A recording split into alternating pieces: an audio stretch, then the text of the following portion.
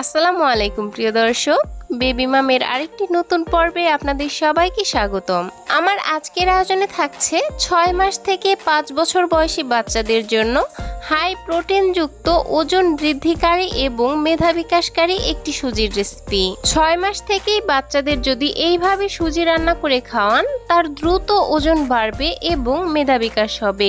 আর এটি কিন্তু আমার কথা নয়, এটি পুষ্টিবিদ আয়সা সিদ্দিকা ম্যামের কথা। আরও থাকছে বাচ্চাদের কত মাস থেকে এবং কীভাবে ডিম খাওয়ানো শুরু করবেন, তার সমস্ত কিছু বিস্তারিত এই ভিডিওতে আলোচনা করব। তাই কোনো রকম না টেনে পুরো ভিডিওটি দেখার অনুরোধ জানাচ্ছি। তো আর কথা না বাড়িয়ে চলে যাচ্ছি মূল আয়োজনে।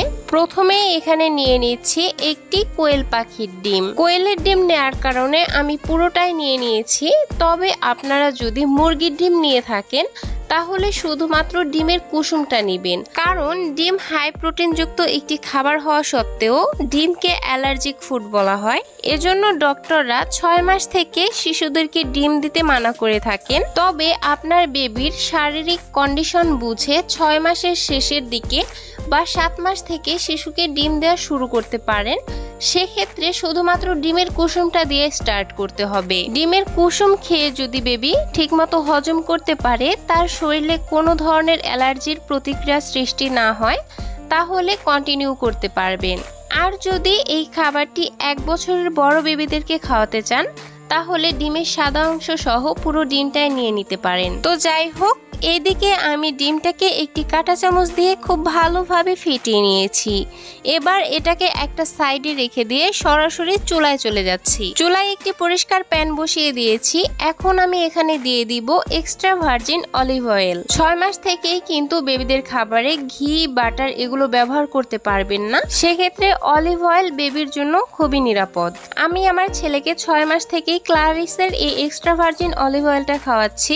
এখন প্যানের মধ্যে মধ্যে আমি আমার প্রয়োজন অনুযায়ী এক চা চামচের থেকে একটু কম অলিভ অয়েল নিয়ে নিলাম।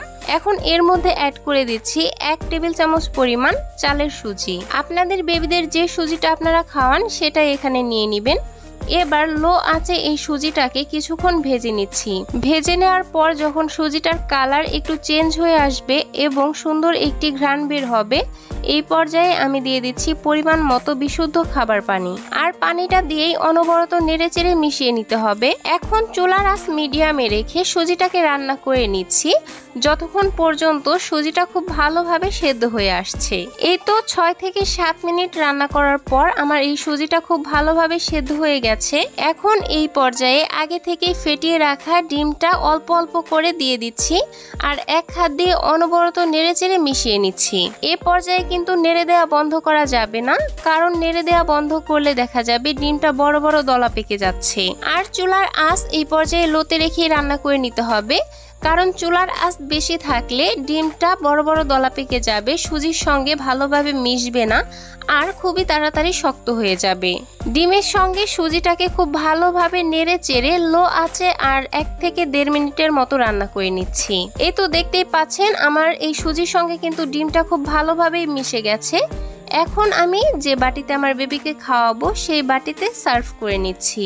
এই তো দর্শক, বাচ্চাদের জন্য হাই প্রোটিনযুক্ত একটি সুজির রেসিপি কিন্তু একদম তৈরি। ছয় মাসের পর থেকেই আমার বেবিকে আমি এইভাবে সুজি রান্না করে খাওয়াচ্ছি। এছাড়াও আমার বেবি যখন কোনো অসুস্থতায় ভুগে থাকে এবং ওর ওজন যখন একটু কমে যায়, তখনই আমি এই রেসিপিটা করে ওকে খাওয়াই।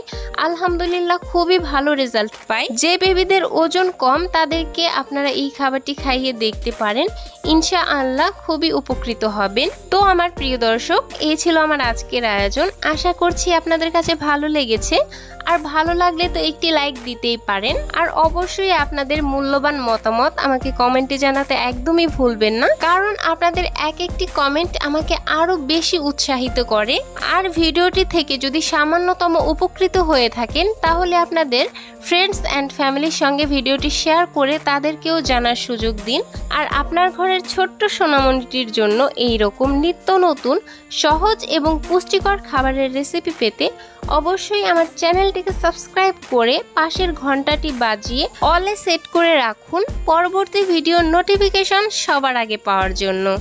আজকের মতো বিদায় নিচ্ছি। সবাই ভালো থাকবেন, সুস্থ থাকবেন। আল্লাহ হাফেজ। আসসালামু আলাইকুম।